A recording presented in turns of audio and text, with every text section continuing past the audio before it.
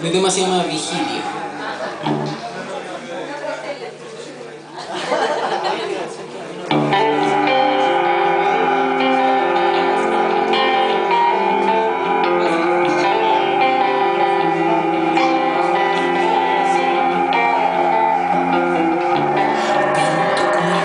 Thank